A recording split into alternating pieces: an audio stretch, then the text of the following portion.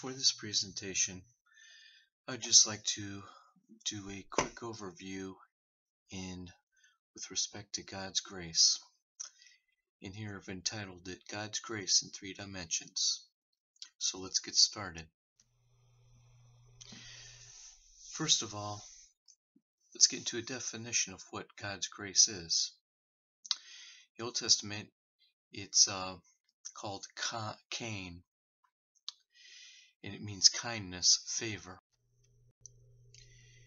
And that's derived from chanan, which means to stoop in kindness to an inferior, to favor, to bestow.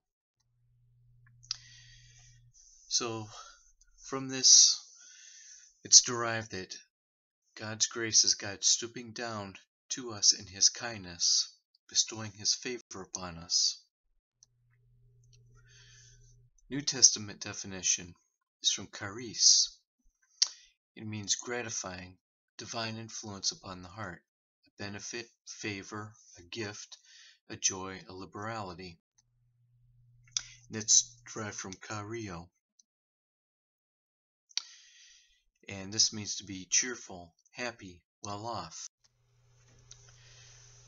From this, it's derived, it's God pouring into us and upon us his gifts because he favors us. Another definition is with an acronym God's riches at Christ's expense. Grace is God's loving kindness toward us. Grace is a gift.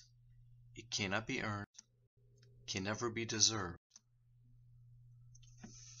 And its importance is revealed in the book of Proverbs, where it's written, A good name is to be chosen rather than great riches, loving favor rather than silver and gold. And in the book of Hebrews, it's written, For it is good that the heart be established by grace, not with foods that have not profited those who have been occupied with them.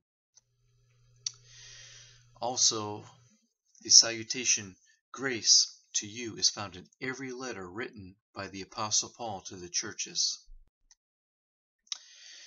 Psalm 63, it says, Because your loving kindness is better than life, my lips shall praise you.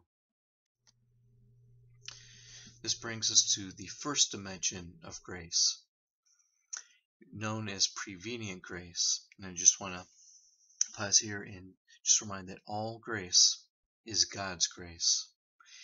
And this is just God's grace from our viewpoint. So with prevenient grace, I want to preface it by this. God is love. It's agape type love. And God always acts with love. God is love and God has created us for his love. So the term prevenient is just a fitting term that means to come before. So prevenient grace is God's favor toward us that came into our lives before any decision on our part. Which means that God did not wait around for us to look for Him first. He took the initiative. and prevenient grace in the famous um, verse of John 3:16, we see it, for God so loved the world that he gave his only begotten son. It's where he took the initiative. Now with prevenient grace we're confronted with bad news, and that's human sin. Human sin has alienated, alienated us from God, from others, and from one another, and even from our own selves. Human sin is the inward destructive condition that manifests itself in various ways. Another way of looking at sin is the attitude, my life is all about me. Going on, your life should also be all about me. And then finally, at its worst peak, it is all about me. Human sin is anything that diminishes the life that God intends for us to have. However, we have good news. there is more grace in God toward us than there is sin in us. Every one of us needs to have our own personal spiritual experience with Jesus. And I mean the, the true Jesus Christ, the Son of God, who is one of the three persons of the Trinity. He is God the Word made flesh.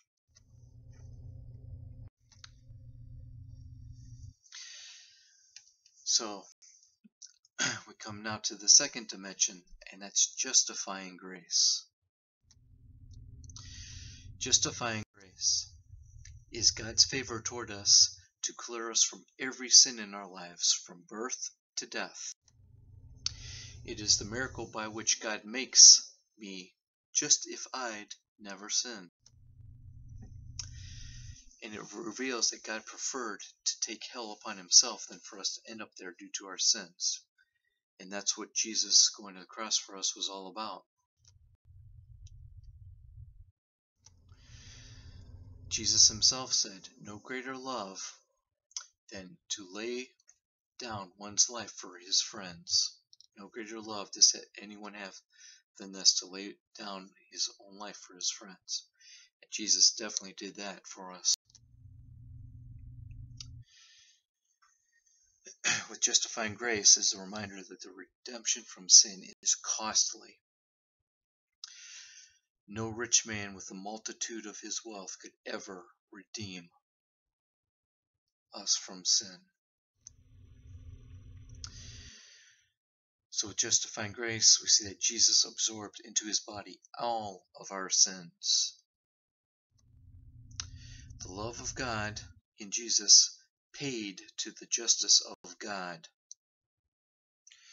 He took all the wrath and condemnation of our sins upon himself. Jesus exhausted all of God's wrath against our sins.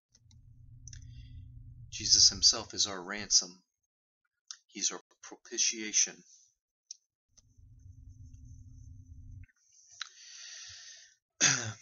so with justifying grace, we see that after for God so loved the world that he gave his only begotten Son. Justifying grace is, whosoever believes upon him should not perish. Justifying grace, we experiencing it the moment we say yes to Jesus. It's we consent to allow Jesus to love us. We consent to allow Jesus to save us. We say yes to that relationship with God. And here poses a question Will you open your heart to God and accept the relationship with Him that He freely offers us, to us in His Son, Jesus Christ?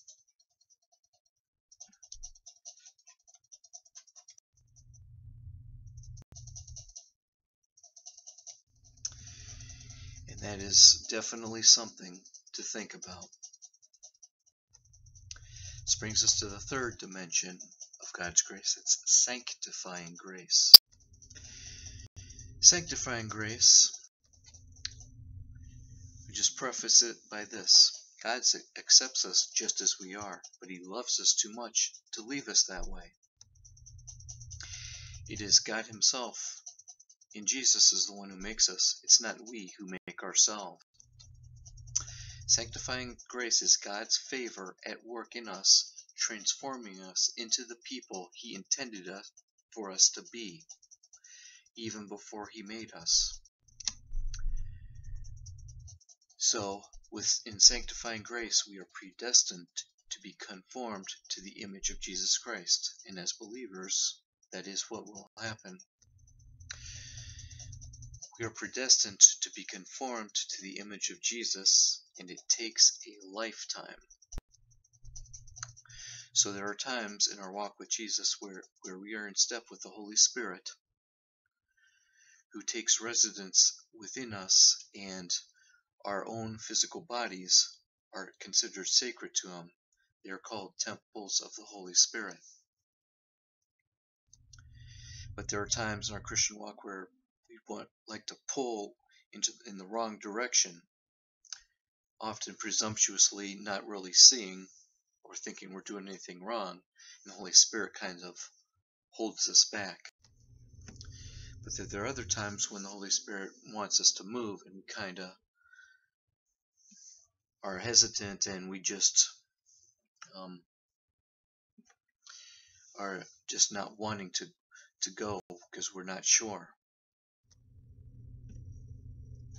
With sanctifying grace, we are transformed from glory to glory as we see Jesus more. And this we need this renewal continually. we need our minds continually renewed by the Holy Spirit, especially in this um, world we live in that is dominated by that satanic spiritual fog of Antichrist.